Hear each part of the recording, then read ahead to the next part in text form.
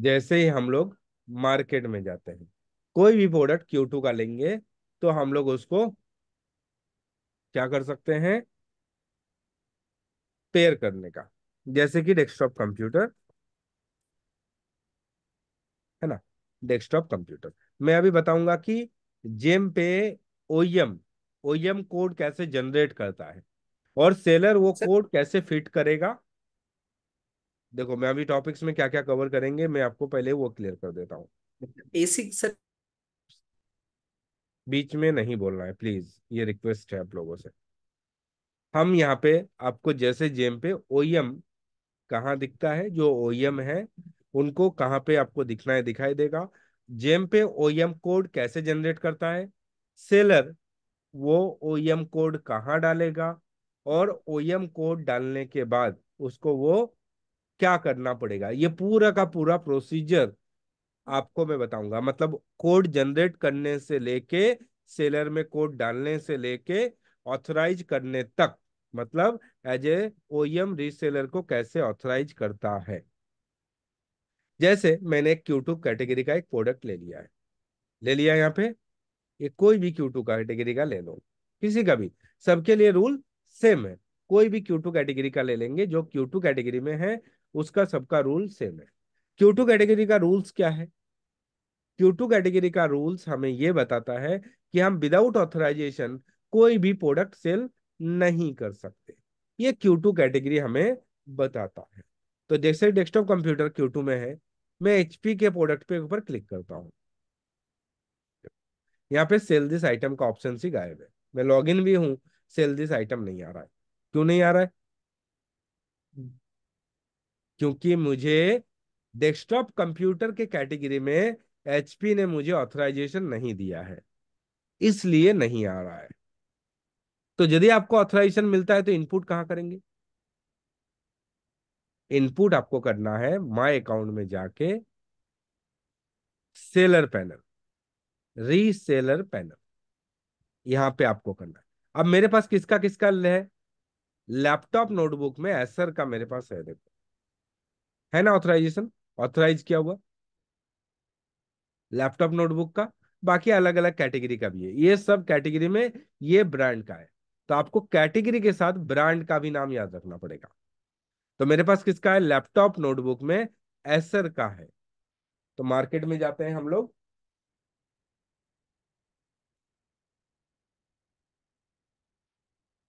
और अब laptop netbook netbook laptop notebook का कैटेगरी लेते हैं।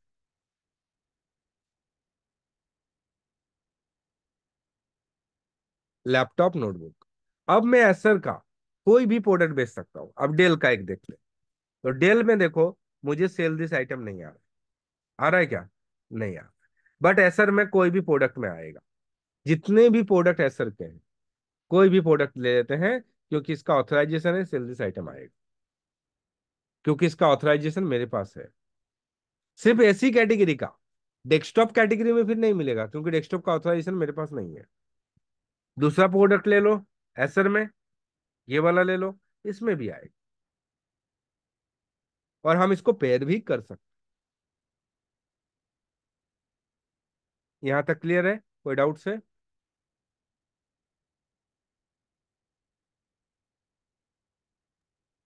कोई डाउट्स नहीं है सर क्लियर है। क्लियर है। ठीक है। सर। नेक्स्ट टॉपिक हाँ बोलिए सर। सर ये सर ये इतना और सस्ता कैसे दिखा रहा है सर इसमें? मार्केट में तो फ़िलहाल हम जिस टॉपिक में बात कर रहे हैं उस पर बात। क्लियर है यहाँ तक? क्लियर हो गया यहाँ? चलिए अब आगे चलते हैं। अब आपको मतलब यहाँ से क्लियरली पता चल गया कि आपको यदि आप बेचना है क्यू का प्रोडक्ट तो ऑथराइजेशन होना चाहिए। ये ऑथराइजेशन मिलेगा कहाँ से? ये ऑथराइजेशन देगा ओईएम तो जिस कैटेगरी में जो ओईएम है वहाँ पे उसको उसका वो ऑथराइजेशन इशू कर सकता है। तो मैं अभी ऑथराइजेशन इशू करना दिखाता हूँ। ऑथराइजेशन कैसे इशू करते हैं? कल का जो किसी का था क्रेडेंशियल मैंने बनाया था। कल किसका था क्रेडेंशियल मेरा था सारांश अग्रवाल। हाँ आपने कॉजन मनी पे कर दिया। सर नहीं अभी नहीं हुआ है सर मेरा। सर अभी पेंडिंग है। ठीक है तो फिर मेरे अकाउंट में ही दिखाता हूँ देखो। ओके सर ठीक है? तो यहाँ पे जाते हैं हम लोग सेलर पैनल और देखो मुझे यहाँ पे ओईएम पैनल नज़र आ रहा है। आ रहा है? मतलब मैं ओईएम हूँ। किस किस कैटेगरी का ओईएम हूँ?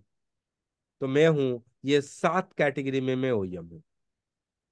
कॉटन उल कॉटन गर्ज में रोल्स पेड में cotton bandage crepe bandage crepe bandage version two और plaster of Paris version two इतने सारे कैटेगरी में मैं ओईएम हूँ।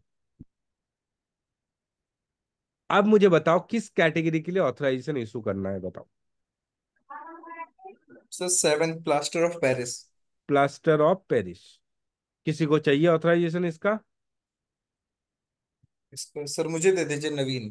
ठीक है आपका क्रेडेंशियल मुझे आपके चैट बॉक्स में मुझे फटाफट डालिए। ठीक है। ओईएम के लिए कोड इशू करते हैं। सर ने बोला प्लास्टर ऑफ़ पेरिस में मुझे कोड चाहिए। तो ये हो गया कैटेगरी इस कैटेगरी में मुझे ओईएम ये ओईएम का आईडी है। ओईएम में इस कितने कैटेगरी में मैं मैन्युफैक्चरर हूँ? तो मैं कोड कैसे इशू करूँगा? मैनेज रीसेलर ठीक है? यहाँ पे करेंगे। देखो, मैंने जहाँ जहाँ कोड इशू किया है। एड ऑथराइजेशन एड रो अब यहाँ पे हम लोग ऑथराइजेशन इशू करेंगे। ऑथराइजेशन नंबर क्या डाल दे ऑथराइजेशन नंबर मान लीजिए डाल देते हैं टू फोर्टी फाइव मेरा बैच नंबर है तो टू फोर्टी फाइव बोल के डाल देते हैं। GeM two four five minimum eight character का भी बोल रहा है, करो। तो GeM zero zero two four five ये सर को मैंने ऑथराइजेशन कोड इशू कर दिया। ऑथराइजेशन एजेंसी यदि नाम डालना है तो डाल सकते हैं, नहीं तो यानी कर देते। डेट कोई भी डेट डाल देते हैं, चलता रहेगा सर का ऑथराइजेशन वैलिड टू ठीक है तो मैंने वैलिड करके डाल दिया और इसको कर देता हूँ सेव तो ये कोड हमने इशू कर दिया एक GeM zero two two zero four five में।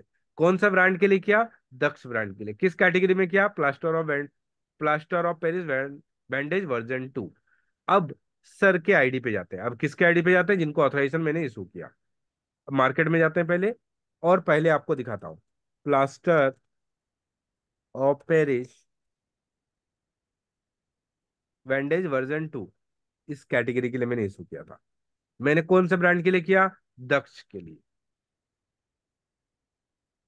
दक्ष। दक्ष के दो प्रोडक्ट है, देखो। तो दक्ष पे क्लिक करते हैं, दोनों प्रोडक्ट खुल गया। अब कोई भी प्रोडक्ट को क्लिक करते हैं। ये वाला प्रोडक्ट को लेते हैं। या ये वाला, कोई भी। दस बाई तीन सेंटीमीटर इसमें देखो सेल दिस आइटम आ रहा है? नहीं आ क्योंकि इसका ऑथराइजेशन कोड हमने अभी तक नहीं डाला तो ऑथराइजेशन यहाँ सेल दिस आइटम नहीं आ रहा है। इसी को अभी हम लोग डाल देते हैं। अब ऑथराइजेशन कोड इशू कैसे करेंगे? मैंने इशू कर दिया है सॉरी गलेक्सी ए ट्वेंटी मैं आपको बार बार निकालता रहूँगा जब तक आप अपने नाम से नहीं आएँगे।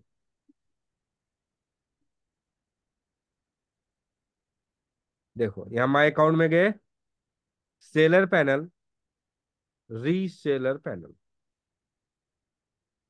यहाँ पे कैटेगरी क्या था? Plaster of Paris bandage version two कौन से ब्रांड का ऑथराइजेशन था मेरे पास? दक्ष दक्ष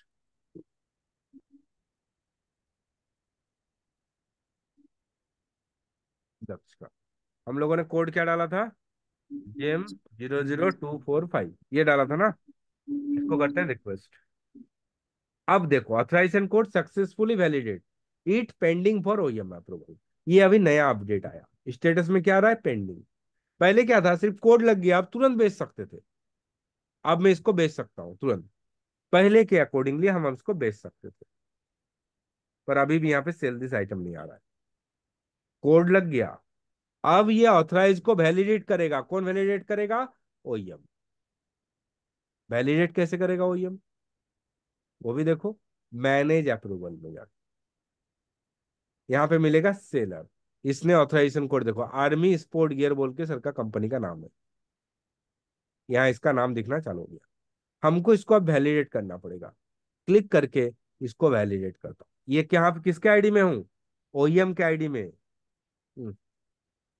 सॉरी